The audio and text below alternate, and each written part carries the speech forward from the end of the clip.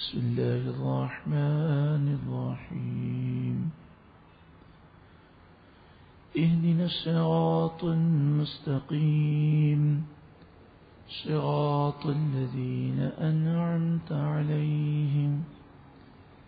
غير المغضوب عليهم ولا الضالين.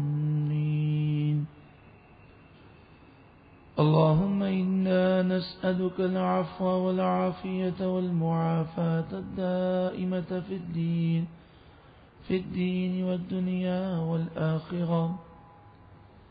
اللهم اشغل جوارحنا بطاعتك وقلوبنا بمعرفتك.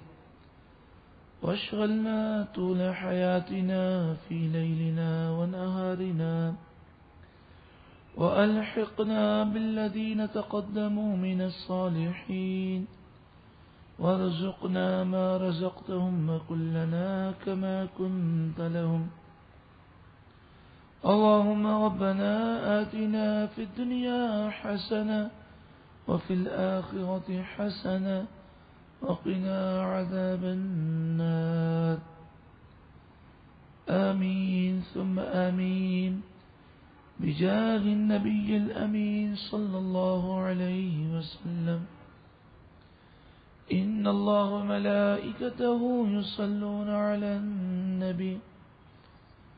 يا أيها الذين آمنوا صلوا عليه وسلموا تسليما. صلى الله على النبي الأمي وآله صلى الله عليه وسلم.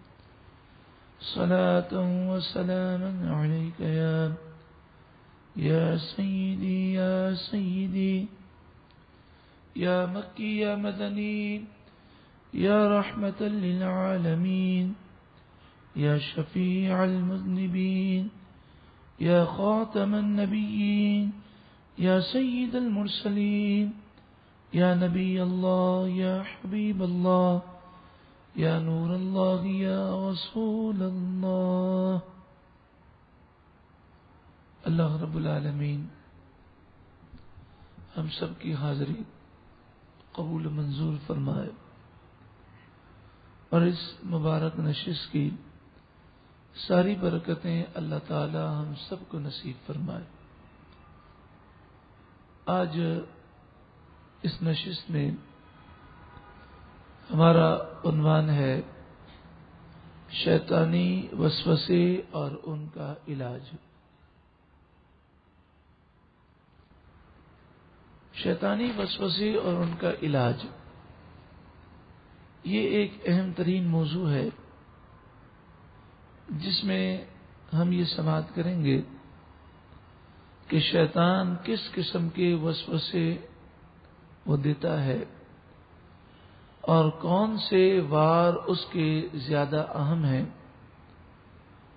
اور کون سے لوگ اس کے جال میں آسانی سے وہ پھنس جاتے ہیں؟ جہاں تک شیطان کا تعلق ہے، شیطان جیسا کہ آپ جانتے ہیں کہ یہ جن ہے اور یہ بڑا عابد و زاہد تھا پہلے۔ ہر آسمان پر اس کے مختلف نام تھے۔ ہزاروں برس، لاکھوں برس اور ایک روایت کے مطابق چھ کروڑ برس اس نے اللہ تعالی کی عبادت کی۔ زمین و آسمان کا کوئی چپا ایسا نہیں تھا کہ جہاں پر اس نے سجدہ نہ کیا ہو۔ عبادت کرتے کرتے یہ اس مقام پر پہنچ گیا کہ اسے پہلے آسمان کی حکومت دی گئی، جنت کے خزانوں کی چابیاں دی گئیں، اور یہ فرشتوں کا استاد بن گیا۔ اللہ تبارک و تعالی نے حضرت آدم علیہ السلاۃ وسلام کو پیدا فرمایا۔ اور حضرت آدم علیہ السلاۃ وسلام کی ولادت کے بعد، آپ کو پیدا کرنے کے بعد اللہ تعالی نے حضرت آدم علیہ السلام کی فضیلت کو فرشتوں پر ظاہر فرمایا اور ارشاد فرمایا سور بقرہ آیت نمبر چونتیس وعید قلنا للملا اکتس جدول آدم اور یاد کرو، جب ہم نے فرشتوں سے فرمایا کہ آدم علیہ السلام کو سجدہ کرو۔ فسجدو تو سب نے سجدہ کیا۔ اللہ ابلیس مگر ابلیس نے سجدہ نہ کیا۔ ابا وسط اس نے انکار کیا اور تکبر کیا۔ وہ کان امین الکافرین اور وہ کافروں میں سے ہو گیا۔ سورہ آراف کی آیت نمبر بارہ میں ہے کہ جب شیطان نے سجدہ نہ کیا، تو اللہ تعالی نے اس سے فرمایا، قولا، رب نے فرمایا ماں من کا اللہ تسجد عید امر تک جب میں نے تجھے سجا کرنے کا حکم دیا، تو تو نے سجا کیوں نہ کیا؟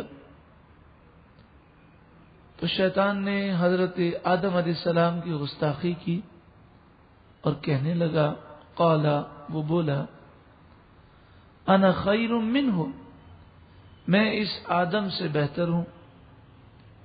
خلقتنی من نار تو نے مجھے آگ سے پیدا کیا۔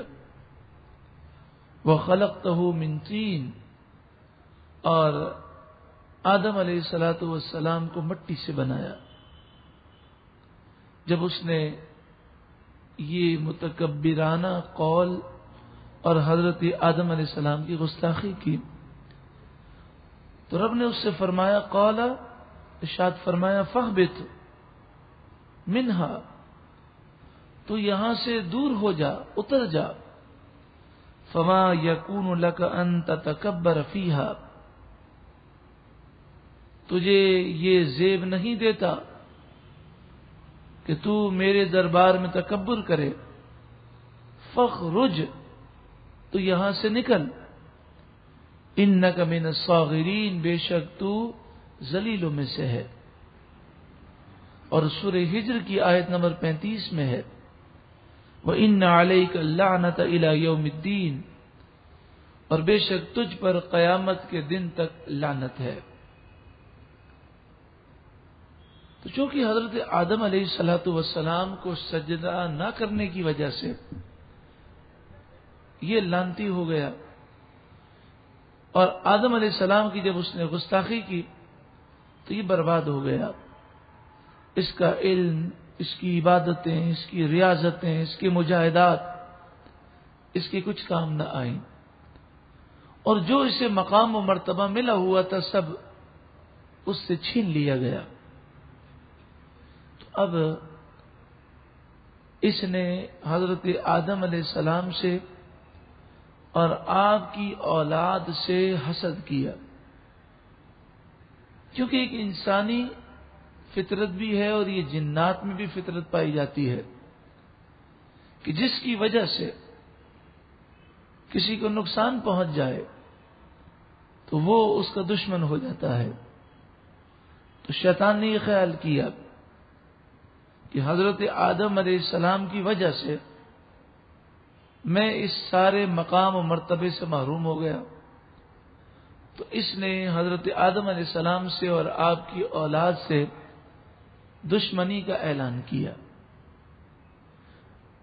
لیکن اس نے اس دشمنی کے اظہار کرنے کے لیے ایک لمبی عمر مانگی۔ سورہ آراب کی آیت نمبر چودہ اور پندرہ میں ہے۔ قال انظرنی الى یوم یبعثون. کہنے لگا ہے مالک، اے میرے رب، تو مجھے اتنی لمبی زندگی دے کہ جب قیامت میں دوسری سور پھونکی جائے گی اور جب سارے لوگ دوبارہ اٹھیں گے، اس وقت تک مجھے مہلت دے دے۔ قال انك من المنظرین۔ تو اللہ نے فرمایا، بے شک تجھے اتنی مہلت، تجھے مہلت دی گئی، لیکن اسے مہلت دوسری سور تک نہ دی گئی۔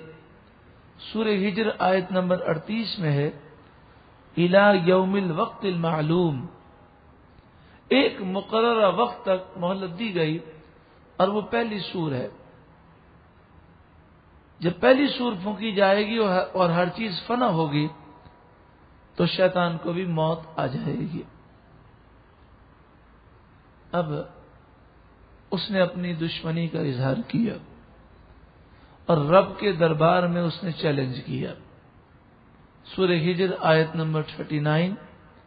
قالا اس نے کہا، ربی بیما اغوئی تنی اے میرے رب تو نے چونکہ مجھے گمراہ کر دیا لَأُزَيِّنَنَّ لَهُمْ فِي الْأَرْضِ تو میں آدم علیہ السلام کی اولاد کو اس طرح گمراہ کروں گا کہ زمین میں برائیاں ان کے سامنے خوبصورت بنا کر پیش کروں گا۔ تو شیطان کے وسوسوں کا ایک انداز یہ ہے کہ جو غلط چیز ہے، جو برائی ہے، جو گناہ ہے، شیطان اسے خوبصورت بنا کر پیش کرتا ہے۔ ولا اجمعین۔ اور میں ان سب کو سرات مستقیم سے اغوا کر لوں گا۔ یہ سیدھے راستے پر جا رہے ہوں گے۔ ان پر ڈاکہ ڈال کر ان کو اغوا کر لوں گا اس راستے سے۔ اللہ عباد منہم المخلصین۔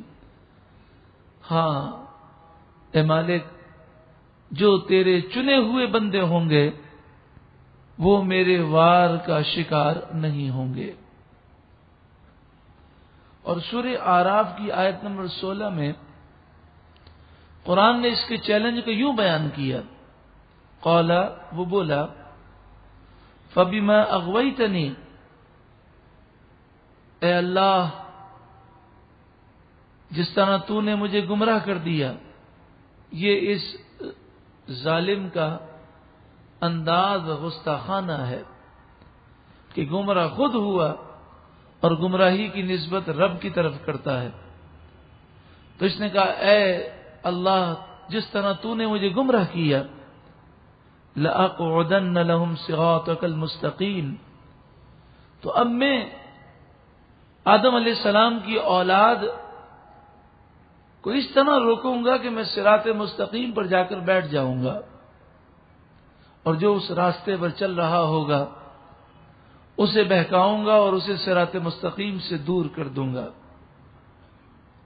سمل آتی ممبئی ایدیم پھر میں ان کو بہکانے کے لیے ان کے سامنے سے آؤں گا۔ وہ من خلفی اور ان کے پیچھے سے آؤں گا۔ وان ایمان اور ان کے دائیں طرف سے آؤں گا۔ وان شما اور ان کی بائیں طرف سے آؤں گا۔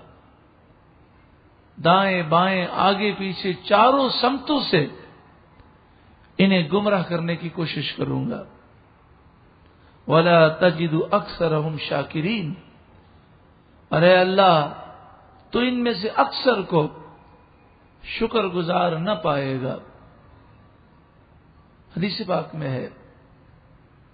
کہ جب فرشتوں نے یہ کلام سنا، فرشتوں نے یہ گفتگو سنی، تو وہ رو پڑے اور عرض کی، اے مالک، جب یہ لائن انسانوں کو چاروں طرف سے بہکائے گا، تو پھر بچنے کی راہ کیا ہوگی؟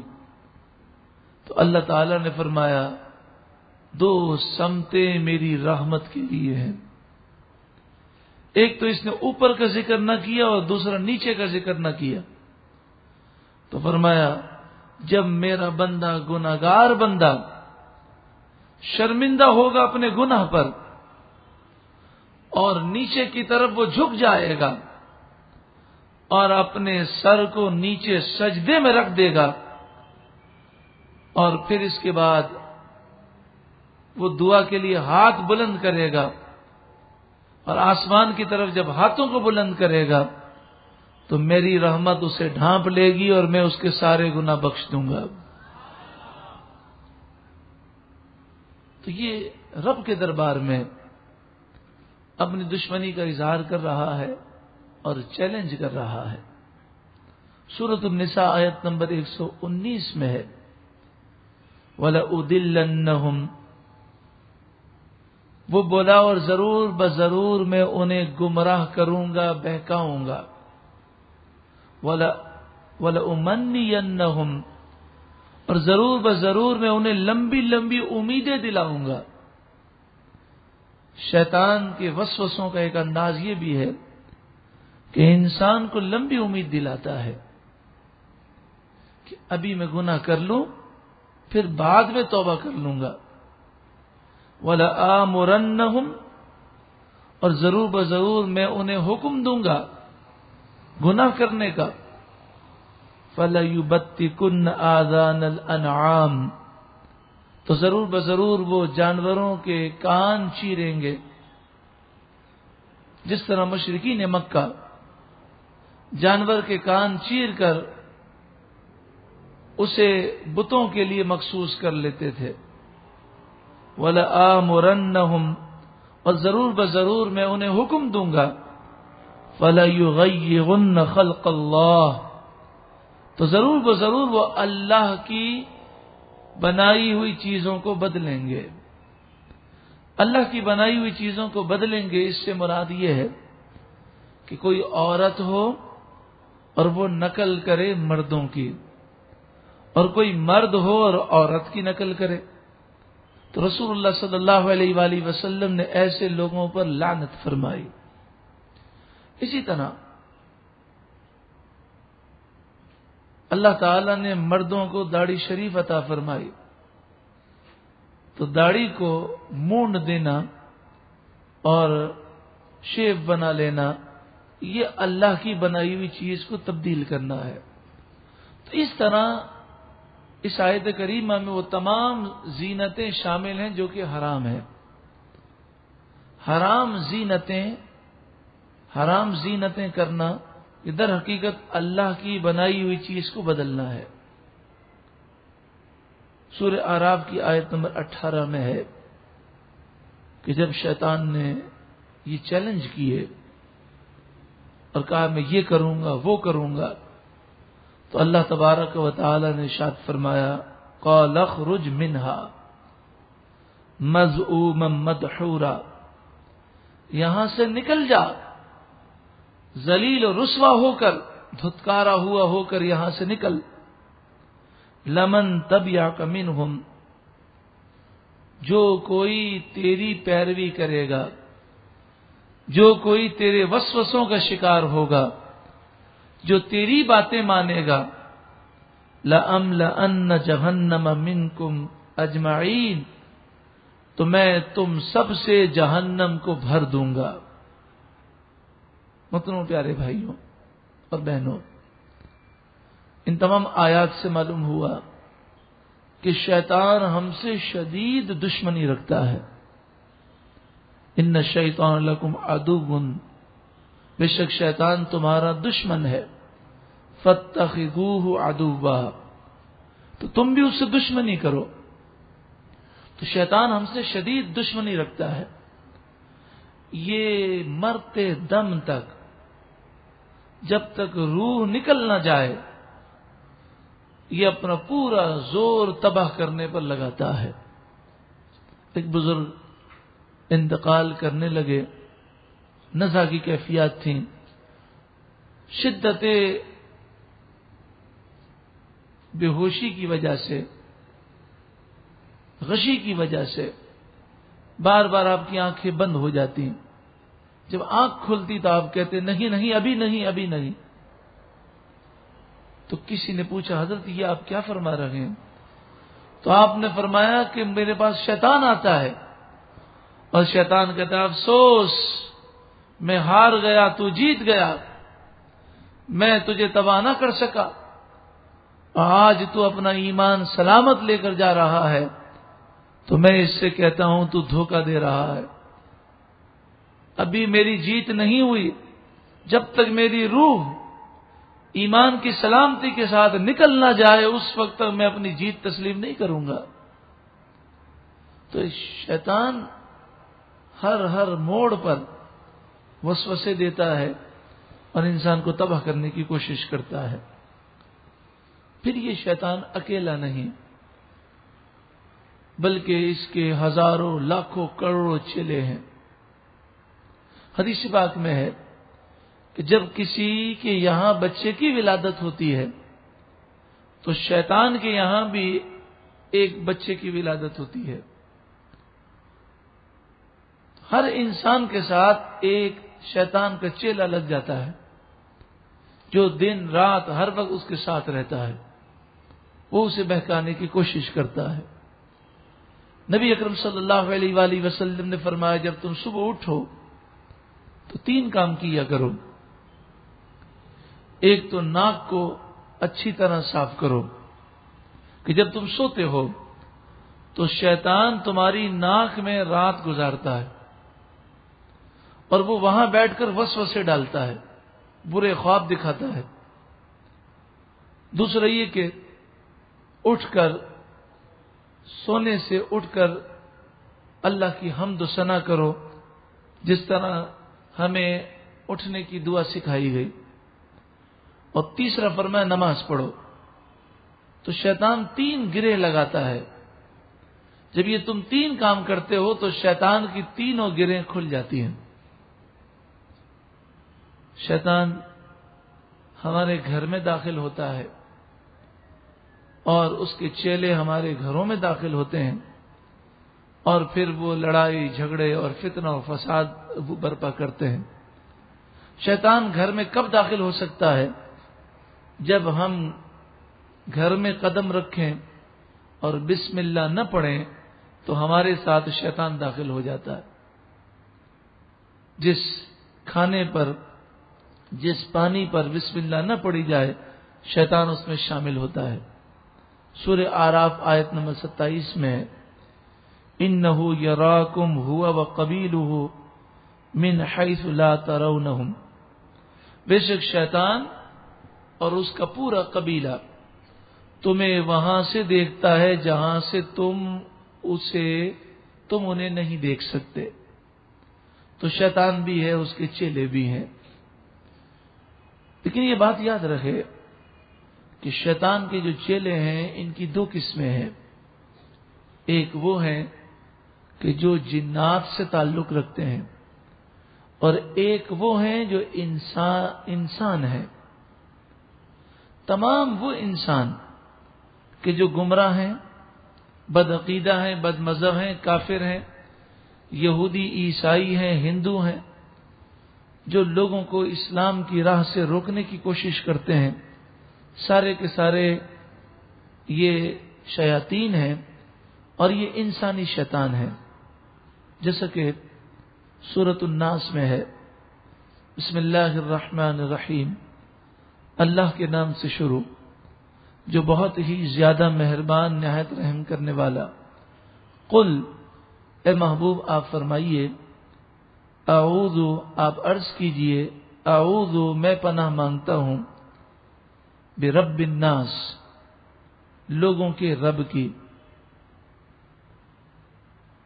ملک الناس، لوگوں کے بادشاہ کی۔ الہ الناس، لوگوں کے معبود کی۔ من شر الوسواس الخناس۔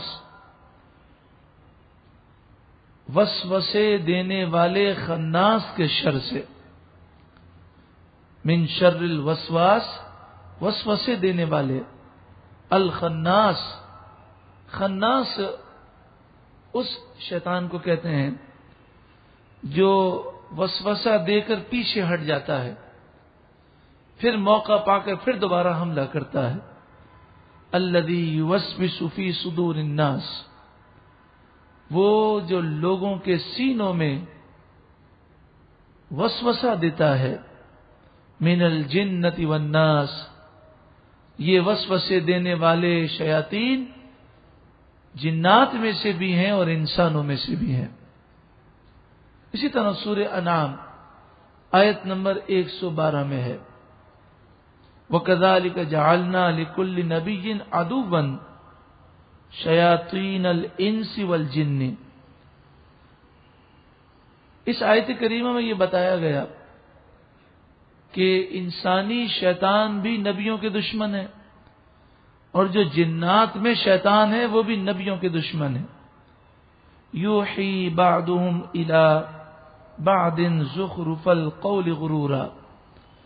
یہ ایک دوسرے پر وسوسوں کو خوشنما بنا کر ڈالتے ہیں تاکہ وہ دھوکہ دے سکے جامع البیان میں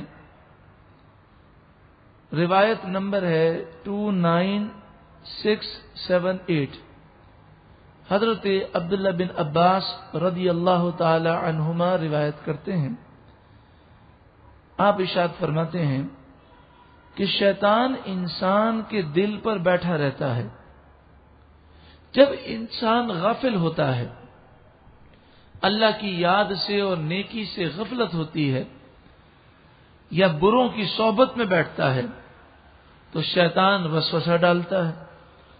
اور جب وہ شخص اللہ کا ذکر کرتا ہے، تو شیطان پیچھے ہٹ جاتا ہے۔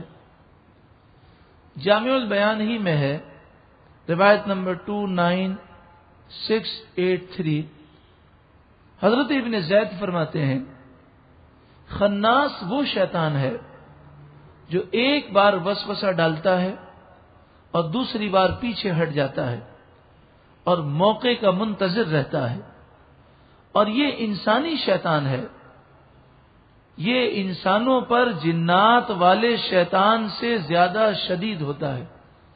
یعنی حضرت ابن زید فرماتے ہیں کہ شیاطین کی دو قسمیں ہیں۔ ایک وہ ہیں جن کا تعلق جنات سے ہے اور ایک وہ شیاطین ہے جو انسان ہے انسانی شیاطین کون ہیں جو نیکی سے روکنے والے ہیں، جو گناہوں کی طرف دعوت دینے والے ہیں، جو یہودی ہیں، عیسائی ہیں، ہندو ہیں، کافر ہیں، مشرق ہیں، بد عقیدہ ہیں، بد مذہب ہیں، گمراہ لوگ ہیں۔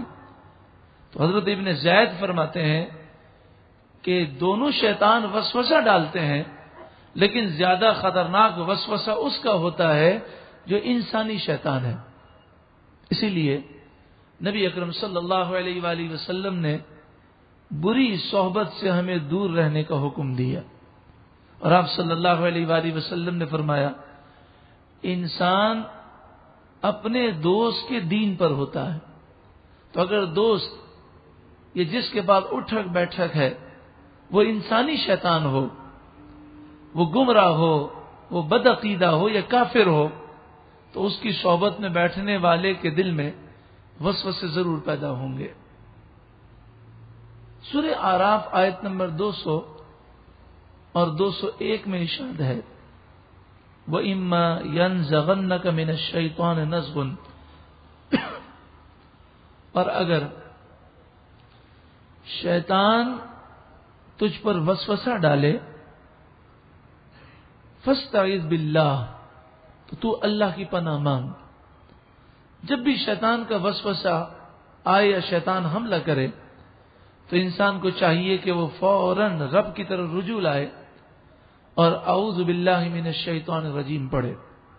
انہو سمیع علیم، بے شک وہی سننے والا علم والا ہے۔ ان الذین اتقوا اذا مسهم طائف من الشیطان متقی لوگوں پر جب شیطان کا حملہ ہوتا ہے تذکرو، تو وہ اللہ کو یاد کرتے ہیں۔ فعیدہ مبصرون، تو جب وہ اللہ کو یاد کرتے ہیں تو ان کی آنکھیں کھل جاتی ہیں اور شیطانی وسوسوں سے وہ بچ جاتے ہیں۔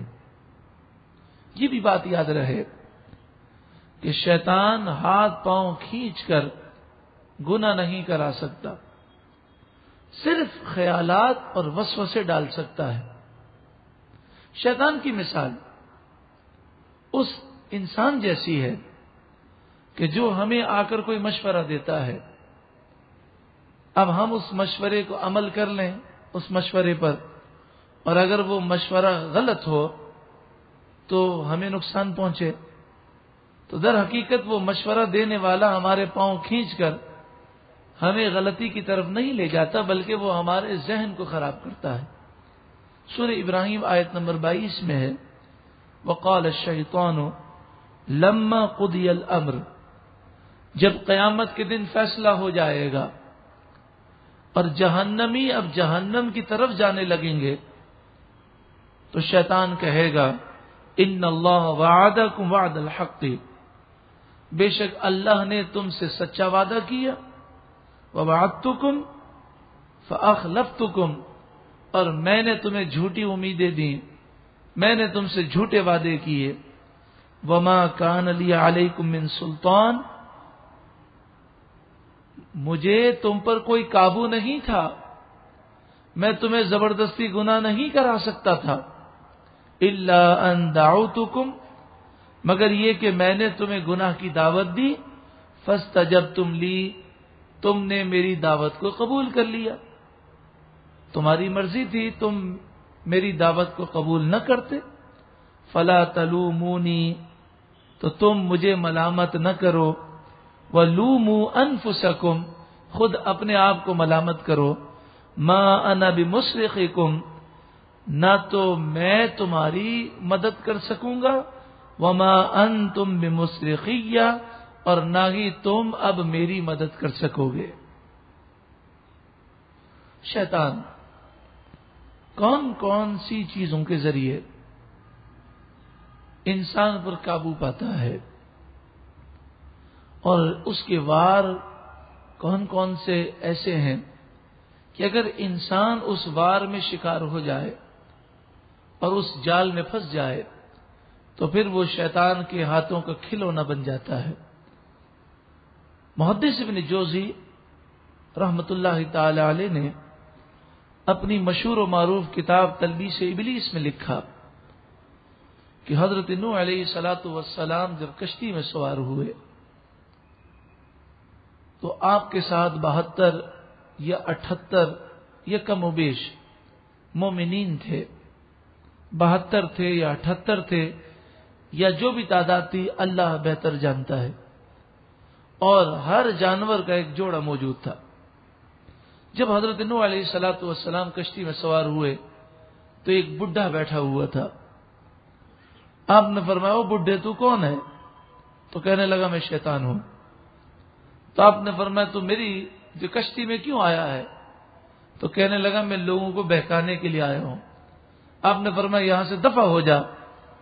تو کہنے لگا کہ چلے میں یہاں سے جاتے جاتے آپ کو ایک بات بتا دوں۔ کہ پانچ میرے وار ہیں۔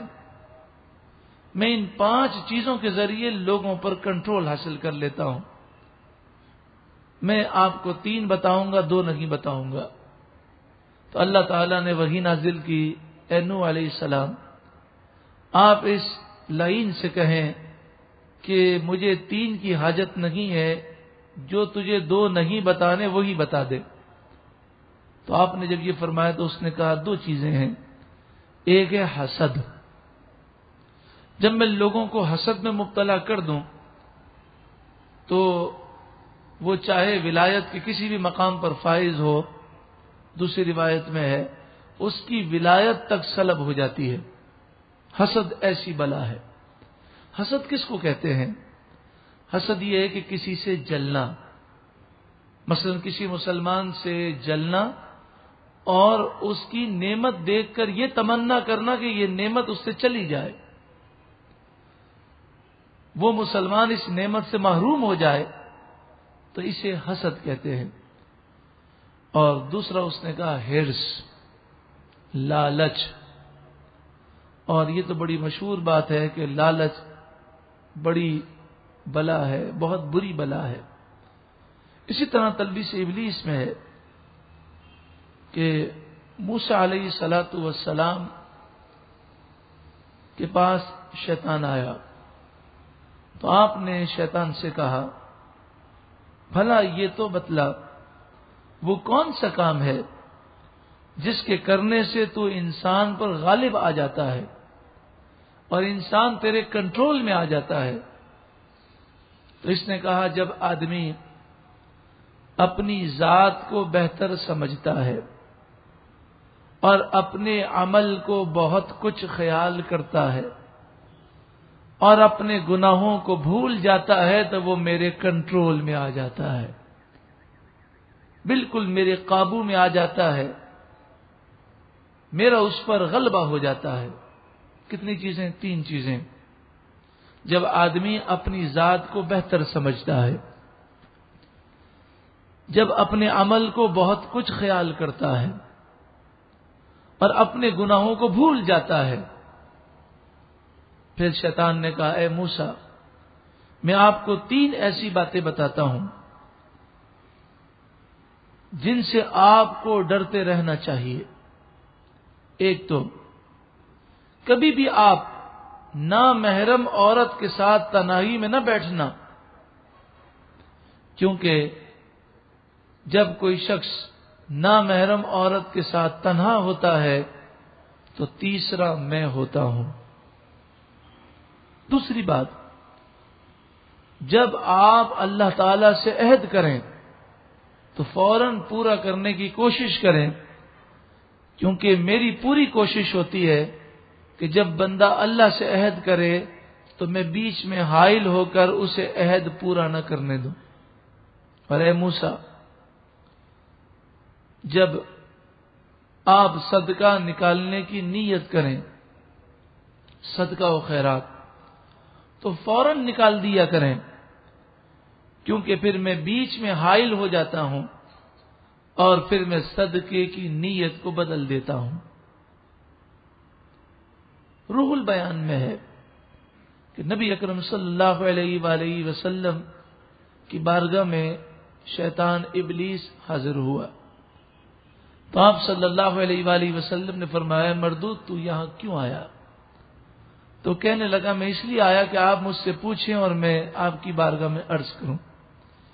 تو آپ نے فرمایا، اے شیطان، یہ بتا کہ کون کون سے لوگ تیرے دشمن ہیں؟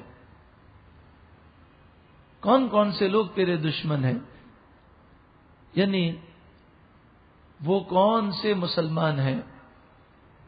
کہ جن سے تو جلتا ہے اور وہ تیری مخالفت کرنے والے ہیں اور تو ان کا سب سے بڑا دشمن ہے۔ تو شیطان نے کہا کہ سب سے بڑے دشمن تو آپ ہیں میرے۔ نعوذ باللہ من ظالم اب آپ دیکھ لیں کہ شیطان نے یہ کہا کہ تمام دشمنوں میں سب سے بڑے دشمن آپ ہیں۔ رسول اللہ کی بارگاہ میں عرض کیا۔ اسی لیے آپ دیکھ لیں کہ جہاں پر بھی رسول اللہ کی محبت کی بات ہے، تعظیم کی بات ہے، توقیر کی بات ہے، فوراً شیطان وسو سے ڈالنے کے لیے آ جاتا ہے۔ دوسرا اس نے کہا، انصاف کرنے والا حاکم میرا دشمن ہے۔ وہ دولت مند جو آجزی کرنے والا ہے، سچ بولنے والا تاجر، اللہ سے ڈرنے والا عالم۔ نصیحت کرنے والا، رحم دل مومن، توبہ کرنے والا، حرام سے بچنے والا، ہمیشہ باوضو رہنے والا، صدقہ و خیرات کرنے والا، اچھے اخلاق والا، لوگوں کو فائدہ پہنچانے والا، قرآن پڑھنے والا، اور پندرواں میرا دشمن وہ ہے جو رات کو اٹھ کر نماز پڑھنے والا ہے۔ تو آپ صلی اللہ علیہ وآلہ وسلم نے فرمایا، اے ابلیس، تیرے دوست کتنے ہیں؟ تو اس نے کہا، دس میرے دوست ہیں۔ ظالم، حاکم، متکبر، خیانت کرنے والا دولت مند شراب پینے والا یعنی جو امیر بھی ہو اور شرابی بھی ہو، چغل خور، ریاکار، سود خور، یتیم کا مال کھانے والا زکات نہ دینے والا اور لمبی لمبی آرزویں کرنے والا۔ ایک اور روایت میں ہے کہ نبی اکرم صلی اللہ علیہ وآلہ وسلم نے ابلیس سے کہا، فرمایا، تیرا ہم نشین کون ہے؟ تو کہنے، وہ کہنے لگا، نشے والا۔ آپ نے فرمایا، تیرا مہمان کون ہے؟ تو اس نے کہا، چور۔ آپ نے فرمایا، تیرا قاصد کون ہے؟ وہ کہنے لگا، جادوگر۔ آپ نے فرمایا، تیرا دوست کون ہے؟ تو کہنے لگا، بے نمازی. آپ نے فرمایا، سب سے بڑا دوست تیرا کون ہے؟ تو اس لائن نے کہا، جو ابو بکر اور عمر کو برا کہے، وہ میرا بڑا دوست ہے. حضرت حاتم اسم رحمت اللہ تعالی علیہ نے ایک دن فرمایا کہ میرے پاس شیطان آیا۔ اور مجھے وسوسے ڈالنے لگا۔ شیطان کے وسوسے کا انداز یہ ہوتا ہے کہ وہ انسان کو روزی کی فکر دیتا ہے۔ ایک انسان کما رہا ہے، کاروبار چل رہا ہے، لیکن پھر بھی مستقبل کی فکروں میں اسے مبتلا کرتا ہے۔ اگر کاروبار ٹھپ ہو گیا تو کیا ہو جائے گا؟ اگر مال ڈوب گیا تو کیا ہوگا؟ میرے بچوں کا کیا ہوگا؟ مستقبل کا کیا ہوگا؟ تو انسان کو ایسے وسوسوں کا جواب کیا دینا چاہیے؟ خاتم اسم فرماتے ہیں کہ شیطان آیا میرے پاس اور مجھے معاش کی اور روزی کی فکر دینے لگا اور کہنے لگا، اے حاتم، تو کیا کھائے گا؟ تو میں نے کہا، موت۔ کہنے لگا، تو کیا پہنے گا؟ میں نے کہا، کفن۔ کہنے لگا، تو رہے گا کہاں؟ تو آپ نے کہا، قبر میں۔ تو شیطان بھاگ گیا اور کہنے لگا، تم تو بہت سخت مرد ہو، میں تمہارا مقابلہ نہیں کر سکتا۔ جب نماز فرض ہوئی، تو شیطان نے زوردار چیخ ماری سارے چیلے جمع ہو گئے۔ شیطان نے کہا، کہ میرے چیلوں، مسلمان کو کبھی نماز نہ پڑھنے دینا۔ ایسے کاموں میں اسے مشغول رکھنا کہ اسے نماز کی فرصت ہی نہ ملے۔ آپ نے دیکھا ہوگا کہ کئی لوگ ایسے ہیں کہ وہ جب نماز پڑھنے کا ارادہ کرتے ہیں تو فون کی گھنٹی بجتی ہے۔ پھر موبائل پر بات کرتے ہیں تو دکان پر گاہک آ جاتا ہے۔ اس طرح کرتے کرتے اثر کا وقت ہی چلا جاتا ہے۔ تو شیطان کے سارے چیلے زور لگاتے ہیں کہ ایسی مصروفیات میں اسے رکھا جائے کہ اس کی نماز قضا ہو جائے۔ تو شیطان کے چیلے کہنے لگے کہ ہم پورا زور لگا لیں۔ پھر بھی کسی کو اگر نماز سے نہ روک سکیں، پھر کیا کریں؟ تو شیطان نے کہا، پھر یہ کرنا کہ چار چیلے جو ہیں، ہر نمازی کے ساتھ کھڑے ہو جائیں۔ ایک دائیں طرف کھڑا ہو، ایک بائیں طرف، ایک آگے، ایک پیچھے۔ جو دائیں طرف کھڑا ہو، وہ کہے، ذرا دائیں طرف دیکھ۔ الٹی طرف والا کہے، بائیں طرف دیکھ۔ آگے والا کہے آگے دیکھ اور پیچھے والا کہے ذرا، تو دیکھ تو صحیح پیچھے کون ہے؟ اور اس روایت میں یوں ہے کہ دائیں بائیں اوپر نیچے، تو اوپر والا کے اوپر دیکھ اور نیچے والا کے نیچے دیکھ۔ یہاں تک کہ اسے یاد ہی نہ رہے کہ میں نے کتنی رکتیں پڑھی ہیں۔ اور فرمایا کہ تم پورا زور، اس روایت میں ہے کہ شیطان نے اپنے چیلوں کو کہا کہ تم پورا زور اس پر دو کہ جب وہ نماز پڑھنے لگے تو اس کے دل میں یہ بات ڈالو کہ دیر ہو رہی ہے۔ آپ نے دیکھا ہوگا آدمی بیٹھ کر یہ کھڑے کھڑے آدھا گھنٹہ گفتگو کر لے گا، لیکن جیسے ہی نماز پڑھنے کے لیے کھڑا ہوگا تو اسے اپنے وقت کی بڑی قدر محسوس ہونے لگی۔ یعنی قدر کیا ہوگی؟ اپنے وقت کو گویا کہ وہ ضائع کرتا ہے۔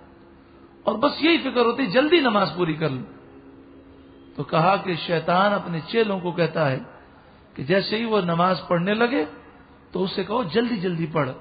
بہت سارے کام ہیں۔ اس طرح اس کی نماز کو تم برباد کر دو۔ شیطان کس طرح انسان کو تباہ کرتا ہے؟ روایت میں آیا کہ دو بھائی تھے۔ ایک بڑا نیک تھا اور ایک گناگار تھا۔ چالیس سال گزر گئے۔ اس نیک بھائی نے، نیک شخص نے کوئی گنا نہیں کیا تھا۔ شیطان اس کے پاس آیا اور کہنے لگا، دیکھ تیری زندگی میں بھی چالیس سال باقی ہیں۔ تو نے چالیس سال تک دنیا کے مزے نہیں کیے۔ اب تیری زندگی میں چالیس سال ہے تو بیس سال دنیا کے مزے کر لے۔ اور آخری بیس سال میں دوبارہ توبہ کر کے پھر اللہ کو راضی کر لینا۔ وہ بھائی اس وسوسے کا شکار ہو گیا۔ وہ اوپر رہتا تھا۔ نیچے گناگار بھائی رہتا تھا۔ تو یہ اٹھا اور کہنے لگا، چلو میں اس کے پاس جاؤں اور اس سے پوچھوں کہ گنا کیسے ہوتے ہیں اور دنیا کے مزے کیسے ہوتے ہیں۔ جب وہ وہاں سے نکلا اور جیسے ہی وہ سیڑھی اترنے لگا تو نیچے والا جو بھائی تھا، اس کے دل میں یہ خیال آیا کہ ساری زندگی گناہ میں گزاری ہے، اب توبہ کر لینی چاہیے۔ تو وہ توبہ کے ارادے سے نیچے سے اوپر کی طرف جانے لگا۔ تو جو اوپر سے آ رہا تھا، اس کا پاؤں سلپ ہوا اور وہ نیچے والے کے اوپر گرا اور دونوں انتقال کر گئے۔ اللہ تبارک و تعالی نے توبہ کے لیے آنے والے کی بخشش فرما دی کہ وہ توبہ کے ارادے سے نکلا تھا اور جو گناہ کے پختہ ارادے کے ساتھ نکلا، اس گناہ کا پختہ ارادہ کرنے کی وجہ سے اللہ نے اس کی غریب فرما لی۔ تو دیکھیں، اس کی زندگی میں چند منٹ باقی تھے، لیکن شیطان نے وسوسہ کیسے دیا، لمبی امید دلائی۔ اور اس کے ذہن میں یہ بات ڈالی کہ تیری زندگی میں تو ابھی چالیس سال باقی ہیں۔ تو یہ بھی شیطان کا ایک بڑا خطرناک بار ہے۔ اسی طرح تلبی سے ابلیس میں ہے کہ ایک اللہ کے نیک بندے نے شیطان کو دیکھا تو اس سے پوچھا کہ تو کس طرح لوگوں کو قابو میں کرتا ہے؟ تو شیطان نے کہا، بس ایک چیز ہے، وہ ہے غصہ۔ جب کوئی غصے میں آ جائے اور غصے میں وہ کنٹرول سے باہر ہو جائے تو میرے لیے اس طرح ہوتا ہے جیسے گیند ہوتی ہے۔ اور جس طرح بچے گیند سے کھیلتے ہیں، میں اس سے کھیلتا ہوں، یہاں تک کہ اسے کفر میں مبتلا کر دیتا ہوں۔ اب دیکھیں، اکثر جو طلاقیں واقع ہوتی ہیں، وہ اسی طرح ہوتی ہیں۔ پھر کسی نے اپنی زوجہ کو طلاق دے دی۔ تو واقعی یہ بڑا ایک خطرناک معاملہ ہے۔ گھر ٹوٹ گیا، نقصان ہوا۔ لیکن شیطان دیکھیں کس طرح تباہ کرتا ہے۔ پہلا غصے، اس نے پہلے غصہ ڈلایا۔ جب وہ غصے میں آیا، اس نے طلاق دے دی۔ اب اس کے بعد شیطان نے یہ وسوسہ دیا کہ کسی طریقے سے بھی اپنی بیوی کو بچاؤ۔ کسی طریقے سے بھی یہ رشتہ نہ ٹوٹے۔ اب اس نے دیکھا کہ حنفی شافئی مالکی، حملی، تمام مسلمان جو صحیح العقیدہ مسلمان ہیں، وہ چار گروہ میں ہیں۔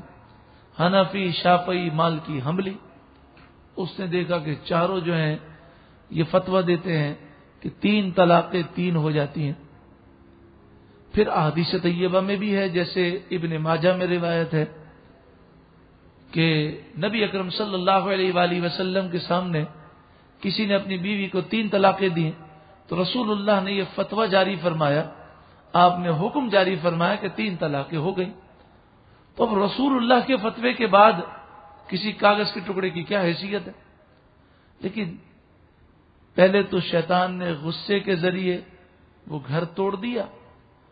اب شیطان اسے بھیج دیتا ہے کسی بد عقیدہ کے پاس جو اپنے آپ کو کہتے اہل حدیث ہیں، لیکن حدیث کے فہم سے بالکل دور ہیں۔ غیر مقلدین، ان کے پاس وہ جاتا ہے اور وہ حدیث کا غلط ترجمہ کر کے ایک کاغذ کے ٹکڑے پہ لکھ دیتے ہیں کہ تین طلاقیں ایک طلاقیں ہوتی ہیں۔ اب دیکھیں، وہ یہ کاغذ کا ٹکڑا لے کر آتا ہے اور سارے لوگوں کی باتیں وہ ٹھکرا دیتا ہے اور ساری زندگی زنا کرتا رہتا ہے۔ اور یہ بھی زنا کیسا؟ اعلانیہ زنا کرتا ہے۔ تو اب دیکھیں غصے کے ذریعے شیطان نے اسے کہاں تک پہنچا دیا؟ اسے گمراہ کر دیا اور اعلانیہ حرام کاری میں مبتلا کر دیا۔ اسی طرح محدث ابن جوزی لکھتے ہیں کہ حضرت عیسیٰ علیہ السلام نے دیکھا کہ شیطان پانچ گدے لے کر جا رہا ہے۔ آپ نے فرمایا یہ کیا ہے؟ تو اس نے کہا تجارت کے سامان ہیں بیچنے کے لیے جا رہا ہوں۔ آپ نے فرمایا اس میں کیا ہے؟ کہنے لگا، ایک میں ظلم ہے، یہ بادشاہوں کے لیے ہے۔ اس کے خریدار بادشاہ ہیں۔ دوسرا تکبر ہے۔ اس کے خریدار سردار ہیں۔ پھر حسد ہے۔ اس کے خریدار قاری ہیں۔ خیانت ہے۔ اس کے خریدار تاجر ہیں۔ اور مکر و فریب ہے۔ اس کی خریدار عورتیں ہیں۔ شیطان کے پانچ بیٹے ہیں۔ ایک کا نام صبر ہے۔ سبر سا با را سبر اس کا کام یہ ہے کہ جب کسی پر مصیبت آئے، تو مصیبت میں انسان کو ایسا وسوسہ ڈالے کہ مصیبت میں انسان گناہ کرے، ماتم کرے اور آوازیں بلند کرے۔ یہاں تک کہ مصیبت میں کل میں کفر بک دے، یہ اس کی ڈیوٹی ہے۔ دوسرا بیٹا ہے آور۔ اس کا کام ہے لوگوں سے زنا کروانا۔ تیسرے کا جو نام ہے وہ مسور ہے۔ اس کا کام ہے لوگوں میں جھوٹ عام کرنا۔ اور یہ کبھی کبھی انسانی شکل میں آتا ہے۔ اور انسانی شکل میں آ کر کوئی جھوٹی افواہ کسی کو سنا دیتا ہے۔ اور یہ جھوٹی بات مشہور ہو جاتی ہے۔ جب لوگ اس کی تحقیقات کے لیے نکلتے ہیں اور اس پہلے شخص تک پہنچتے ہیں، تو وہ کہتا ہے کہ مجھے ایک شخص نے یہ بات بتائی۔ میں اس کی شکل تو جانتا ہوں، لیکن اس شخص کو نہیں جانتا۔ وہ در حقیقت یہی شیطان ہوتا ہے۔ چوتھے بیٹے کا نام واسم ہے۔ وہ گھروں میں لڑائی جھگڑے کراتا ہے۔ وہ اس طرح کہ لوگوں کے عیب، گھر والوں کے عیب آدمی کو دکھاتا ہے اور اسے غصے میں مبتلا کرتا ہے۔ اور پانچواں اس کا جو بیٹا ہے، وہ زک نبور ہے۔ یہ بازار میں ہوتا ہے اور بازار میں گناہ کراتا ہے۔ اسی طرح تلبی سبلی اس میں ہے کہ جب پہلی مرتبہ چاندی سے سکہ بنایا گیا یعنی اس زمانے میں نوٹ تو نہیں تھے، تو چاندی سے جب پہلی مرتبہ سکہ بنا، تو ابلی سلائن نے اسے بوسا دیا۔ اور آنکھوں پر لگایا اور ناف پر رکھ کر کہنے لگا، میں تجھ پر قربان جاؤں، تیرے ذریعے میں انسانوں کو سرکش بناؤں گا، تیری بدولت لوگوں کو کافر بناؤں گا۔ میں آدمی سے اس بات پر بہت خوش ہوتا ہوں کہ وہ روپے کی محبت کی وجہ سے میری اطاعت و فرم برداری کرتا ہے۔ مطلب پیارے بھائیوں، تمام باتوں کا خلاصہ واضح ہوا کہ شیطان ہمارا بہت بڑا دشمن ہے۔ چاروں طرف سے بہکانے میں وہ لگا ہوا ہے۔ ہم غافل ہیں لیکن یہ غافل نہیں ہے۔ ہم بے خبر ہیں لیکن وہ بے خبر نہیں ہے۔ ہم سوئے ہوئے ہیں لیکن وہ سویا ہوا نہیں ہے۔ وہ چاروں طرف سے ہمارے ایمان کا بھی دشمن ہے۔ نیک اعمال کا بھی دشمن ہے۔ اور سب سے بڑی جو دشمنی ہے، وہ ایمان سے دشمنی ہے۔ اس کی پوری کوشش ہے کہ کسی طریقے سے ہمارا ایمان وہ برباد کر دے اور ایمان کی جو جان ہے وہ رسول اللہ کی ذات ہے۔ ایمان کی جان رسول اللہ کی ذات ہے۔ اور یہ ایک حقیقت ہے کہ پیارے آقا صلی اللہ علیہ وآلہ وسلم کے بارے میں اگر کوئی بے ادبی کا جملہ نکل جائے، چاہے وہ بظاہر کتنا ہی معمولی ہو، تو انسان کا ایمان برباد ہو جاتا ہے۔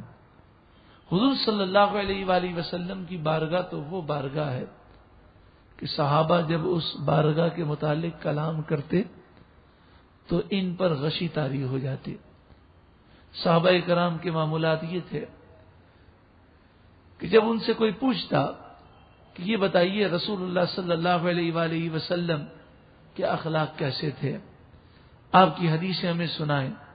تو جب صحابہ یہ کہتے، قال رسول اللہ صلی اللہ علیہ وسلم، تو یہ کہنے کے بعد بسا اوقات چیخ مار کے بے ہوش ہو جاتے۔ اس قدر ان پر خوف تاری ہوتا کہ کہیں بے ادبی نہ ہو جائے۔ یہ تو وہ دربار ہے۔ کہ با یزید بستانی اور جنید بغدادی بھی جب اس دربار پر حاضر ہوتے تو سانس بھی احتیاط سے لیتے کہ کہیں سانس لینے میں بے ادبی نہ ہو جائے۔ لیکن آج ہم یہ دیکھتے ہیں کہ لوگ شیطانی وسوسوں کا شکار ہوتے جا رہے ہیں اور ہر ایک گفتگو کا موضوع بنا رکھا ہے اس نے رسول اللہ کی ذات۔ کبھی وہ رسول اللہ کے علم پر اعتراض کر رہا ہے۔ کبھی آپ کی طاقت پر، کبھی آپ کے معجزات پر، کبھی آپ کی شان کے بارے میں۔ عقید جہاں صلی اللہ علیہ وآلہ وسلم کہ جب میلاد کا مہینہ آیا، تو آپ دیکھیں کہ کتنے میسج کیے جاتے ہیں اور کس کس طریقے سے رسول اللہ صلی اللہ علیہ وآلہ وسلم کی ذات سے لوگوں کو دور کرنے کی کوشش کی جاتی ہے۔ مجھے تو حیرت ہوتی ہے کہ لوگ شیطانی وسوسوں میں کیسے مبتلا ہے عام طور پر ایک وسوسہ یہ پیدا کرنے کی کوشش کی جاتی ہے کہ بارہ ربیع الاول کو تو رسول اللہ کا وصال ہوا اور یہ وصال کا دن ہے۔ چلیں ولادت کا دن بھی مان لیتے ہیں۔ تو ولادت کا دن بھی ہے اور وصال کا دن بھی ہے۔ تو بارہ ربی الاول تو غم کا دن ہے، اس دن تو غم منانا چاہیے۔ اب یہ ایک چھوٹی سی بات ہے۔ اسی کو لمبا کر کے کہہ دیتے ہیں کہ چودہ سو اکیس سال پہلے جب بارہ ربی الاول گیارہ ہجری تھی اور حضور کا وصال ہوا، تو صدیق اکبر رو رہے تھے۔ حضرت عمر اپنا ہوش کھو بیٹھے تھے۔ حضرت فاطمہ رو رہی تھیں۔ حضرت بلال گلیوں میں گھوم رہے تھے، تمام صحابہ غمگین تھے۔ اب وہ یہ ساری گفتگو کر کے کیا پیش کرنا چاہتے ہیں؟ مدعا یہی ہے کہ اب بارہ ربی الاول آیا تو ہم غم منائیں، ہم بھی روئیں، چلائیں، کپڑے پھاڑیں، ماتم کریں، سوگ منائیں۔ ذرا سوچیں صحیح، کہ ایک طرف تو یہ حدیث ہے کہ رسول اللہ صلی اللہ علیہ وآلہ وسلم نے فرمایا، کسی کے انتقال پر تین دن سے زیادہ سوگ منانا حرام ہے گنا ہے، غم منانا جائز نہیں۔ اور دوسری طرف یہ نادان ہمیں غم منانے کا درس دے رہے ہیں، حرام کام کی دعوت دے رہے ہیں۔ ابھی مجھے تو بڑی اس پر بھی حیرت ہوتی ہے، آپ کو بھی حیرت ہوتی ہوگی۔ کہ دو مہینے پہلے محرم میں یہ لیکچر ہوتا ہے کہ امام حسین کی شہادت ہوئی تو ٹھیک ہے، وہ شہادت کا جو موقع تھا، وہ غم کا موقع تھا، لیکن اب تیرہ سو سال کے بعد، چودہ سو سال کے بعد، اب غم منانا یہ حرام ہے، تین دن سے زیادہ غم منانا حرام۔ دو مہینے پہلے ان کو یہ درس دے رہے ہیں اور دو مہینے کے بعد ہمیں یہ درس دینے کے ہم غم منائیں۔ کیسے شیطانی وسوسوں کا شکار؟ اور پھر یہ کہنا کہ بارہ ربی الاول حضور کی ولادت کا دن بھی ہے اور وصال کا دن بھی ہے۔ تو اب خوشی نہیں منائی جا سکتی۔ تو یہ قول بھی قرآن و حدیث کے خلاف ہے۔ جب غم تین دن سے زیادہ منانا جائز ہی نہیں اور خوشی منانے کے لیے کوئی حد مقرر نہیں، تو پھر ولادت کی خوشی منائی جائے گی۔ دیکھیں حدیث پاک میں ہے، ان یوم الجمعات یوم العید جمعے کا دن عید کا دن ہے۔ فی خلق آدم و فی قبیدہ جمعے کا دن وہ دن ہے کہ اس دن آدم علیہ السلام کی ولادت ہوئی اور اسی دن آدم علیہ السلاۃ والسلام کا وصال ہوا۔ اب سوال یہ ہے کہ جمعے کے دن آدم علیہ السلام کی ولادت بھی ہوئی ہے اور وصال بھی ہوا ہے۔ تو ان کے قول کے مطابق یہ تو غم کا دن ہونا چاہیے۔ لیکن دیکھیں حدیث پاک میں جمعے کو عید کا دن کہا گیا۔ تو مطلب بالکل واضح ہے کہ آدم علیہ السلام کا جب وصال ہوا، تو واقعی وہ غم کا دن تھا۔ لیکن تین دن کے بعد غم منانا جائز نہیں۔ ہاں ولادت کی خوشی میں تا قیامت جمعہ عید کا دن بن گیا۔ اور اس سے یہ اعتراض بھی اور یہ وسوسہ بھی دور ہو جانا چاہیے۔ کہ جو نادان یہ کہتے ہیں کہ اسلام میں تیسری عید کا تصور کیسے آ گیا؟ تو رسول اللہ صلی اللہ علیہ وآلہ وسلم جمعے کو عید کے دن قرار دیتے ہیں اور پورے سال میں تقریباً باون جمعے ہوتے ہیں۔ تو باون عیدیں تو یہ ہو گئیں۔ اور پھر جمعہ عیدوں کی عید ہے۔ کہتے ہیں یہ عیدوں کی عید یہ کہاں سے نکلا؟ تو جمعہ عیدوں کی عید ہے۔ کہ رسول اللہ صلی اللہ علیہ وآلہ وسلم نے فرمایا وہ ہوا اعظم من یوم الفطر وہ یوم جمعہ عید کا دن ہے اور یہ عید الفطر اور عید الاضحیٰ سے بھی افضل دن ہے۔ تو یہ عیدوں کی عید ہے۔ بڑی عجیب بات ہے کہ حضرت آدم علیہ السلام کی ولادت کی خوشی میں جمعہ عیدوں کی عید بن جائے۔ تو حضور کی ولادت کی خوشی میں یوم ولادت عیدوں کی عید کیوں نہیں ہے؟ یا رسول اللہ۔ یا رسول اللہ۔ جاری رہے گا۔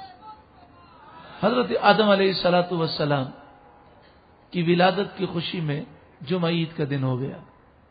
اب اس سے وہ اعتراض اور وہ وسوسہ بھی دور ہو جانا چاہیے۔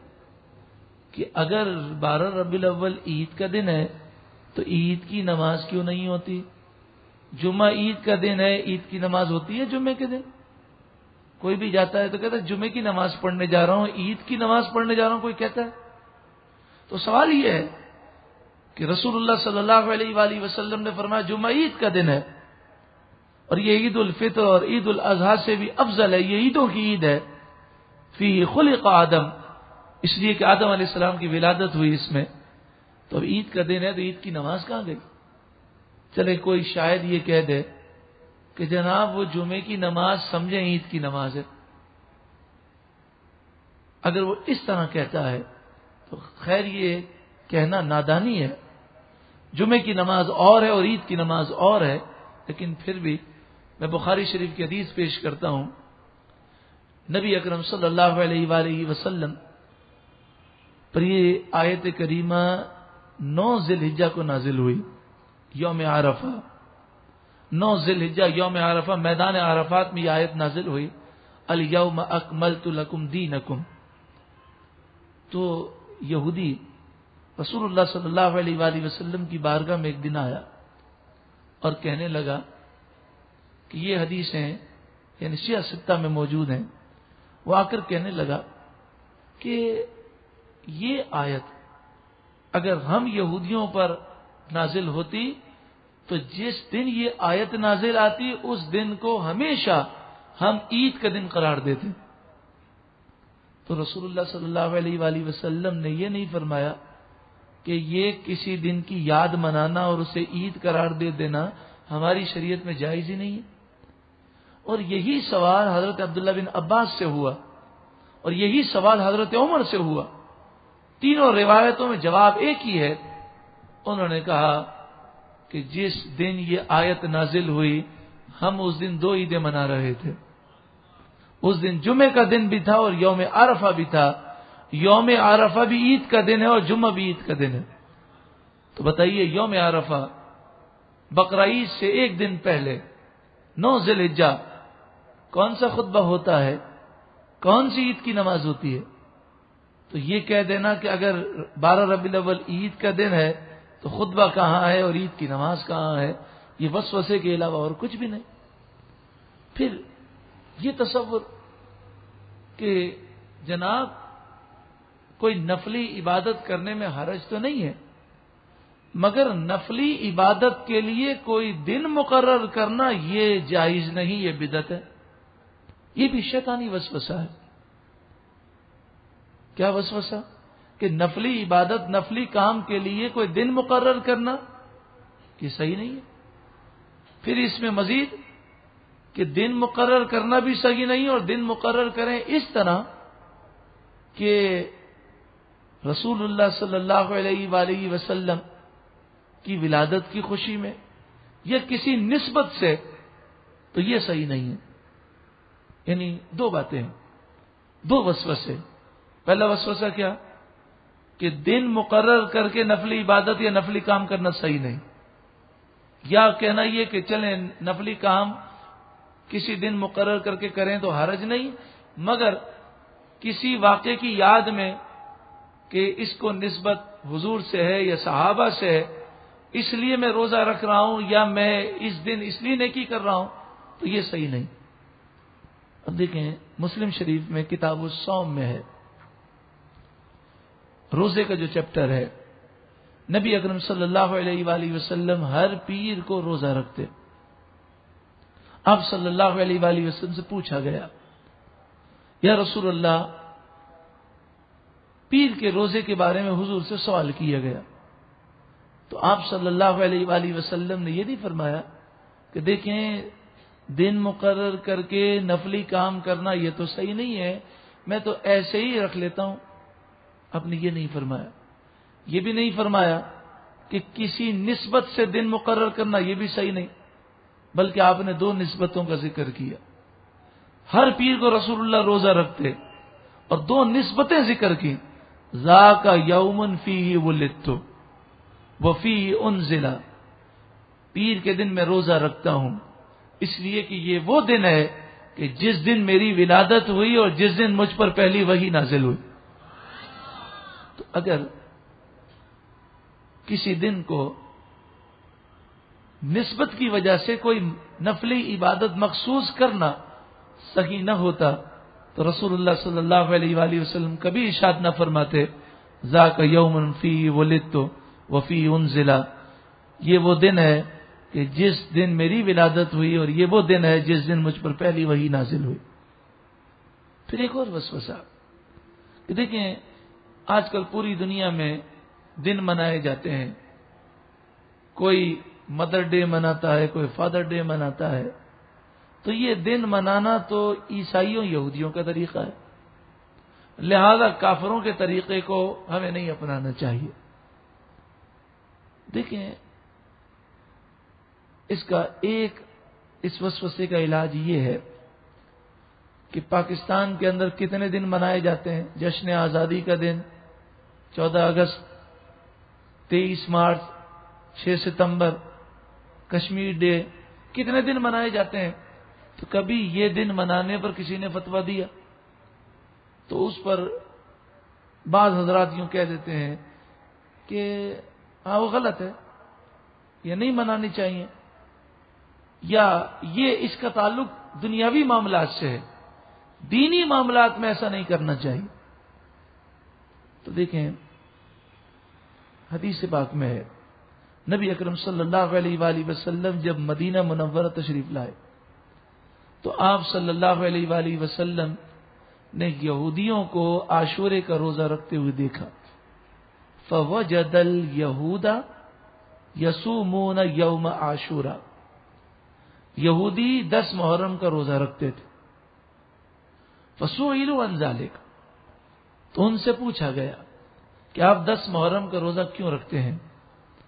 تو یہودی بولے، یہ وہ دن ہے کہ جس دن اللہ تعالی نے موسا علیہ السلام کو، بنی اسرائیل کو غلبہ دیا، بنی اسرائیل کو نجات دی فرونی اور فرون غرق ہوئے۔ اس دن کی یاد ہم مناتے ہیں اور روزہ رکھتے ہیں۔ اب بتائیے، یہودی تو کافر تھے۔ اور کافر روزہ رکھ کر آشورے کا دن منا رہے تھے۔ تو اس اصول کے مطابق تو ہونا تو یہ چاہیے تھا کہ حضور فرما دیتے، اے میرے صحابہ سن لو، کبھی زندگی میں عاشورے کا روزہ نہ رکھنا۔ کہ اس دن کو مناتے تو یہودی ہیں، لہذا ہمیں دن نہیں منانا چاہیے۔ بلکہ آپ نے یہ نہیں فرمایا۔ آپ نے فرمایا نحن اولا موسا من کو ہم تم سے زیادہ موسا علیہ السلام کو ماننے والے ہیں۔ آپ نے دو روزے رکھنے کا حکم دیا۔ فرمایا، دس محرم کا روزہ رکھو۔